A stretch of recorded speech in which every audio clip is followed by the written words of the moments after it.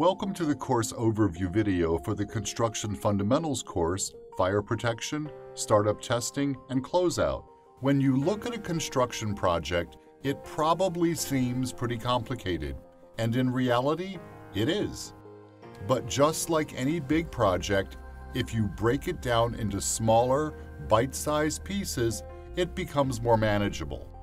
That's what we'll do in this series of Construction Fundamentals courses.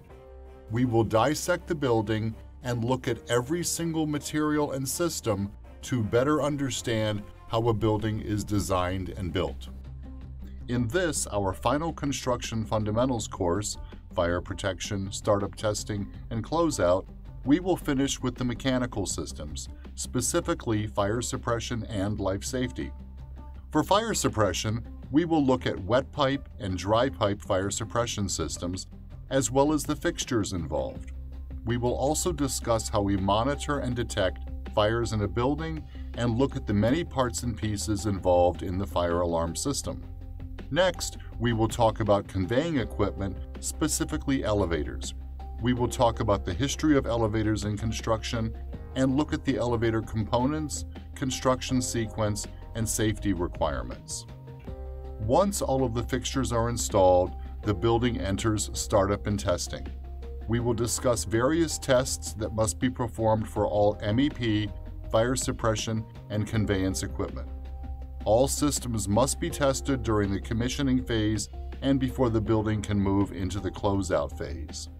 We will wrap up our construction fundamentals courses by talking about project closeout, including punch list, certificate of occupancy, and project turnover. In all of these construction fundamentals courses, you will learn about the sequence of construction and the relationships between all the different construction activities on site. You will be able to identify all the different parts and pieces in a commercial building. Over time, you will start developing a construction and engineering vocabulary, which will give you the credibility you need on the job site you will become much more effective in solving problems because you will be speaking the same language as other construction industry professionals. Before you know it, you'll be able to answer the question why. Why are steel beams shaped the way that they are? Why does one building have deep foundations while another has shallow foundations? When you can precisely answer questions like these regarding every scope in the building, you will become a very valuable member of the project team.